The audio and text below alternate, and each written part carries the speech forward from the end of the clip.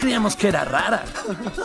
Pero de pronto subió cuatro grados, ganó el premio anual de ingeniería y le dieron una beca aquí, en la Academia Viaria. Perfecto, eso es justo lo que buscamos. La vas a adorar al instante. Pero no la adores demasiado. Es mi hermana. Te rompería cada hueso del cuerpo.